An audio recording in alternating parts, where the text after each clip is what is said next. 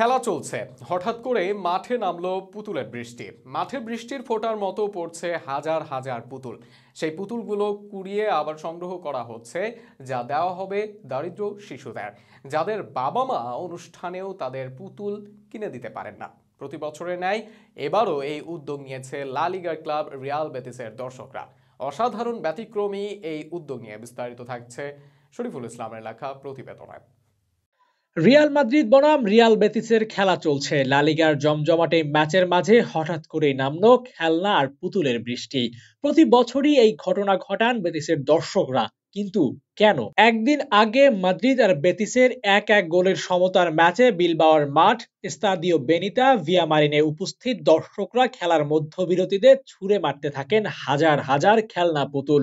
গ্যালারিতে উপস্থিত দর্শকদের খেলনা ছুঁড়ে মারার এই উৎসব রীতিমতো খেলনা বৃষ্টির সূচনা করে। ফুটবল মাঠে নানান সময় খেলোয়াড়দের গায়ে এটা ওটা ছুঁড়ে মারার গল্প প্রায়শই শোনা যায়। তবে এই খেলনা বৃষ্টি মোটেও কোনো হিংসাত্মক মনোভাব থেকে করা হয়নি, বরং এটি লালিগার ক্লাবটির দারুণ এক ঐতিহ্যই বলা চলে। মূলত বড়দিন উদযাপনের অংশ হিসেবেই এটা করা হয়ে থাকে, কারও প্রতি ক্ষোভ থেকে না, বরং মহৎ উদ্দেশ্যে এই কাজ করেন তারা। মূলত দু সাল থেকে রিয়াল বেতিস এই খেলনা ছুড়ে মারার উৎসব পালন করে আসছে। ঐতিহ্য অনুযায়ী দর্শকরা বড়দিনের আগে বা পরের ম্যাচে কাপড় ও স্টাফের তৈরি নরম খেলনা নিয়ে স্টেডিয়ামে উপস্থিত হয়। টেডি বিয়ার, মিকি মাউস, আবার কোনোটা কাপড়ের তৈরি পুতুল। হরেক রকম খেলনা নিয়ে উপস্থিত হয় দর্শকরা। এরপর ম্যাচের মধ্যবিরতিতে মাঠে ছুড়ে মারা হয় এসব খেলনা। অবশ্য যে কোনো পুতুল ছুড়ে মারা যাবে না, নিয়ম অনুযায়ী এসব খেলনা স্টাফ বা কাপড় জাতীয় উপাদানে তৈরি হতে হবে। ভেতরে কোনো ধরনের ব্যাটারি থাকা যাবে না এবং পঁয়ত্রিশ সেন্টিমিটারের বেশি বড় হওয়া যাবে না। প্রতিটি কাজের মাঝে ভালো উদ্দেশ্য থাকে আর এই আয়োজনের পেছনেও আছে মহৎ উদ্দেশ্য।